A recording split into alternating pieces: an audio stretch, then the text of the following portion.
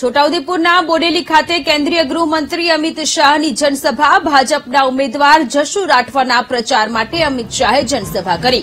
ભાજપની જનસભામાં મોટી સંખ્યામાં લોકો પહોંચ્યા. અમિત શાહના આગમનને લઈ ભાજપ કાર્યકરોમાં અનેરો ઉત્સાહ જોવા મળ્યો. અમિત શાહની જનસભા અંગે ઉમેદવાર જશુ રાઠવાએ નિવેદન આપ્યું, છોટાઉદેપુરની જનતા અમિત શાહને સાંભળવા આવી છે. અમિત શાહનું છોટાઉદેપુરમાં લોકો ઉમળકાભેર સ્વાગત કરે છે.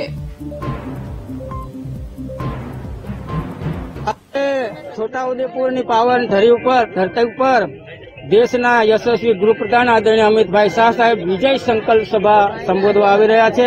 ત્યારે આ છોટાઉદેપુર લોકસભા વિસ્તારના તમામ નાગરિકો એમનું સ્વાગત કરે છે, એમનું અભિવાદન કરે છે અને ઉમરકાભેર એમને અમે સાંભળીશું. છોટાઉદેપુરના બોડેલી ખાતે ભારત સરકારના ગૃહમંત્રી અમિત શાહ આજે સભાને સંબોધન કરવાના છે. બોડેલી ખાતે આજે સભાનું સ્થળ છે. ત્યાં જે કાર્યકર્તાઓ છે તે આવવાની તૈયારી કરી રહ્યા છે. હજુ અનેક કાર્યકર્તાઓ આવી રહ્યા છે. આ વિશાળ જનસંખ્યાને સંબોધવા માટે કેન્દ્રીય ગૃહમંત્રી આજે પધારવાના છે, જેને લઈને અહીંયા અત્યારે મોટી સંખ્યામાં લોકો ઉમટી પડ્યા છે. છોટાઉદેપુર લોકસભાના જે ઉમેદવાર છે, જસુભાઈ રાઠવા, તેમના સમર્થનમાં આજે સંબોધન કરશે. Mahesh Bhil VTV news, Chhota Udaipur.